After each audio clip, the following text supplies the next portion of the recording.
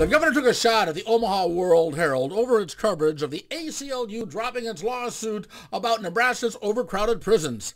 Let's take a look at the spin and see what you believe.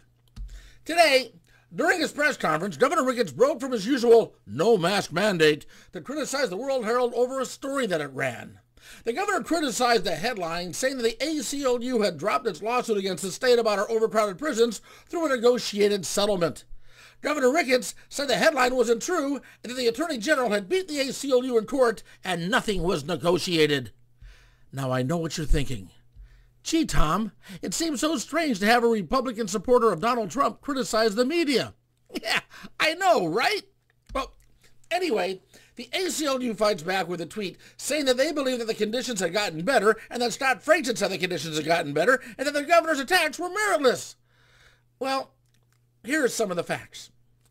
In June, federal judge Brian Buescher refused to certify the lawsuit against the prisons as a class action suit, which made the ACLU case a lot more difficult to move forward and forces the ACLU to take on a different strategy. They dropped the case without prejudice, which means they could refile it in the future.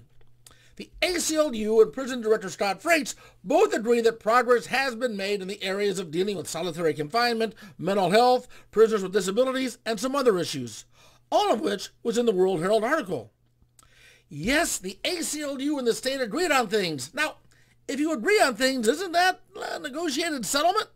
And would these changes have happened if the ACLU hadn't filed the lawsuit? Now, at the same time, the governor is right in this the ACLU did lose a case in court. But instead of taking a moment to pat himself on the back and say that under his administration progress is being made with our prisons, he took a page out of Donald Trump's playbook and blasted the World Herald over a headline that he didn't appreciate.